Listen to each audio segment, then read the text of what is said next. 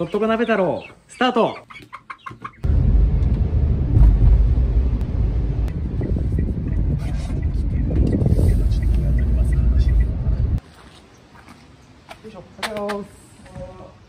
おはようございます。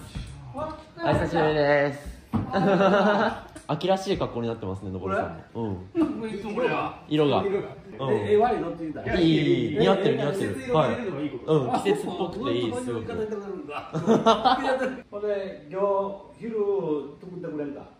あ、ご飯ですか？んあ、僕が？で、いや、一応、うちの嫁はん来るなって言うけど、はい。焼き魚をして、はいはいはいこれ時や。はい、わかりました。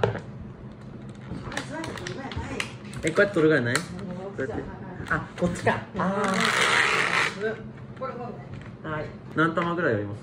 さっき5つ。砂糖と醤油でいく？そうですねね。関東っぽい。美味しそう。卵かましとった方がいいですよ。いきます。はうん、あれは恥ずかしい。い。え、じゃあ、まあ、放っとけばいいですか？あんまり大。きい火じゃいかんで。あんまり大きい火じゃいかん？やばいやばい。ない。はい。ちょっと待開けていい？開けてよ。おっとろしいね。おっとろしいね。開けてんや。あ、熱々これもはい。あありがとうございます。はい。とんでもない。ここへ来たら、昼は、ここういうのがええなんか、カルビ丼とかあんなんやないやけどね。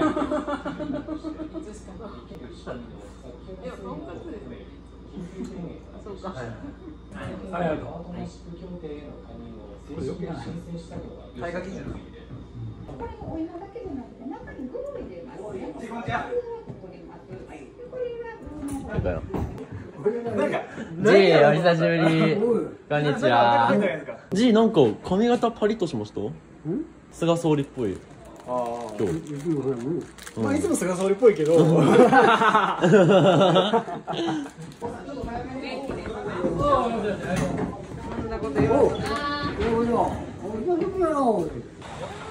おお、すごい。え、でかっ。こんなでかかったでしたっけ？